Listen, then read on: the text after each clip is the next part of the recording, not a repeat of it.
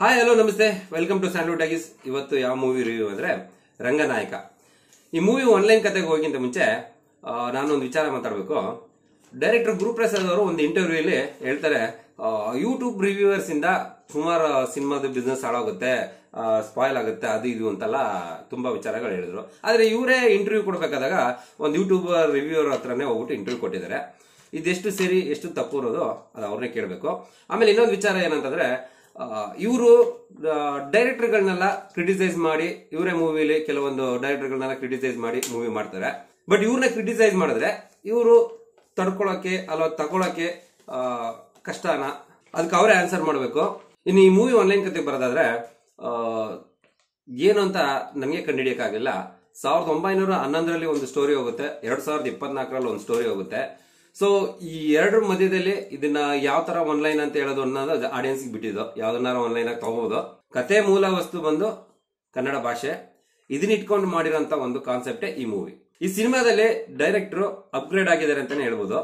ಅಂದ್ರೆ ಟೆಕ್ನಿಕಲ್ ಆಗಲ್ಲ. ಉದಾಹರಣೆಗೆ ಎದ್ದೇಳು ಮಂಜುನಾಥ ಮುಂಚೆ ಬಂದಿದ್ದು ಮಠ ಸಿನಿಮಾ. ಆ ಸಿನಿಮಾದಲ್ಲಿ ಒಂದು ಚಿಕ್ಕ ಕ್ಯಾರೆಕ್ಟರ್ ಆಗಿ ಕಾಣಿಸ್ಕೊಂಡ್ರು. ಅದಾದ್ಮೇಲೆ ಎದ್ದೇಳು ಮಂಜುನಾಥದಲ್ಲಿ ಸ್ವಲ್ಪ ಜಾಸ್ತಿ ಕ್ಯಾರೆಕ್ಟರ್ ಆಗಿ ಕಾಣಿಸ್ಕೊಂಡು ಆಕ್ಟ್ ಮಾಡಿದ್ರು. ಬಟ್ ಈ ಸಿನಿಮಾದಲ್ಲಿ ಅರ್ಧ ಸಿನಿಮಾ ಫುಲ್ ಕಾಣಿಸ್ಕೊಂಡಿದ್ದಾರೆ. ಸೊ ಇದೇ ಅಲ್ವಾ ಒಂದು ಅಪ್ಗ್ರೇಡೇಷನ್ ಅಂತ ಹೇಳೋದು? ಅದ್ರಲ್ಲಿ ಬೇರೆ ಸ್ಟೇಜ್ ಅಲ್ಲಿ ಇನ್ನೊಂದು ಸಿನಿಮಾ ಅನೌನ್ಸ್ ಮಾಡಿದ್ದಾರೆ. ಕಿತ್ತೋದ್ ನನ್ ಮಗ ಅಂತ. ಅದರಲ್ಲಿ ಇನ್ನೆಷ್ಟು ಕಾಣಿಸ್ಕೋತಾರೆ ಅಂತ ನಾವು ವೆಯ್ಟ್ ಮಾಡಿ ನೋಡ್ಲೇಬೇಕು.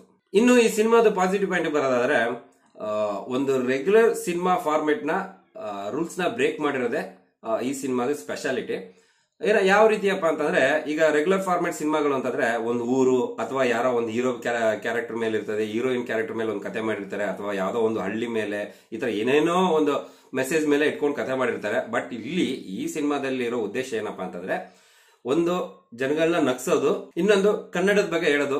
ಇಷ್ಟಕ್ಕೆ ಎಷ್ಟು ಬೇಕೋ ಅಷ್ಟು ಮಾಡ್ಕೊಂಡು ಇಟ್ಕೊಂಡಿದ್ದಾರೆ ಈ ಸಿನಿಮಾದಲ್ಲಿ. ಅದಲ್ದೇನೆ ಇನ್ನೊಂದು ಪಾಸಿಟಿವ್ ಪಾಯಿಂಟ್ ಏನಪ್ಪ ಅಂತಂದ್ರೆ ಮ್ಯೂಸಿಕ್ ಮತ್ತೆ ಬ್ಯಾಕ್ ಗ್ರೌಂಡ್ ಮ್ಯೂಸಿಕ್ ಈ ಸಿನಿಮಾಗೆ ಒಂದು ತುಂಬಾ ಚೆನ್ನಾಗಿ ಮಾಡ್ಕೊಂಡು ಮಾಡ್ಕೊಂಡಿದ್ದಾರೆ ಆಮೇಲೆ ಇನ್ನೊಂದು ಮೇಜರ್ ಪಾಸಿಟಿವ್ ಪಾಯಿಂಟ್ ಏನಪ್ಪಾ ಅಂತಂದ್ರೆ, ಜಗ್ಗೇಶ್ ಅವ್ರು ಬರೋ ಅಂತ ಸೀನ್ಗಳೆಲ್ಲಾನು ಕೂಡ ತುಂಬಾ ಚೆನ್ನಾಗಿ ತೋರಿಸಿದ್ರೆ. ನಮಗೆ ನಗು ಬರ್ಸೋದಂತೂ ಗ್ಯಾರಂಟಿ. ಇನ್ನು ಈ ಸಿನಿಮಾದು ನೆಗೆಟಿವ್ ಪಾಯಿಂಟ್ ವಿಚಾರಕ್ಕೆ ಬರೋದಾದ್ರೆ, ನಾನು ಖಂಡಿತ ಬರಲ್ಲ. ಯಾಕಂದ್ರೆ ನಾನು ನೆಗೆಟಿವ್ ಪಾಯಿಂಟ್ ಹೇಳಿದ್ರೆ ರಿವ್ಯೂ ಅವರಿಂದಾನೇ ಸ್ಪಾಯ್ಲ್ ಆಯ್ತು ಅಂತ ಅವ್ರು ಬೇಜಾರ್ ಮಾಡ್ಕೊಳ್ಳೋದು ಬೇಡ, ನಾವುಗಳು ಬೇಜಾರಾಗೋದು ಬೇಡ, ಅವ್ರೇನಾರಂದು. ಸೊ ಈ ಸಿನಿಮಾದಲ್ಲಿ ನೀವೇ ನೋಡಿ ನಿಮ್ಗೆ ಏನ್ ಅನ್ಸುತ್ತೋ ಅದನ್ನ ನೀವೇ ತಿಳ್ಕೊಳ್ಳಿ. ನಾನು ನೋಡಿ ಅಂದ್ರೂ ಕೂಡ ನೀವು ನೋಡ್ತೀರಾ, ನೋಡ್ಬೇಡಿ ಅಂದ್ರೂ ಕೂಡ ನೋಡ್ತೀರಾ. ಅದು ನಿಮಗ್ ಬಿಟ್ಟಿರೋದು.